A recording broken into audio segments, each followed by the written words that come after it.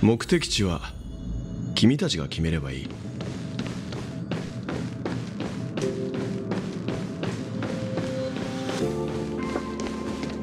宇宙ステーションをあなたの家だと思っていいのよ。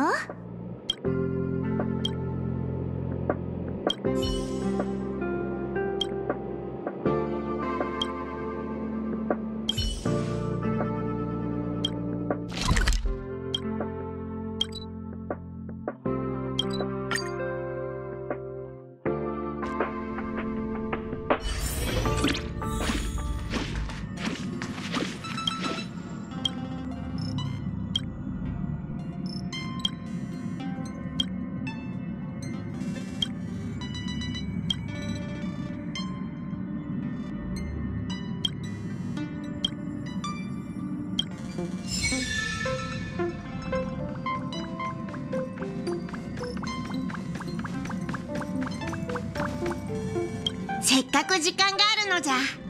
遊び疲れたなら好きなだけ休憩するがよい。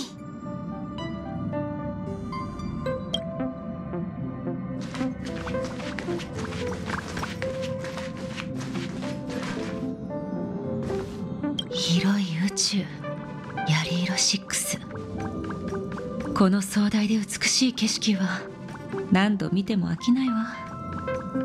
この景色を記録して子供たちに見せる方法があればよかったんだけど。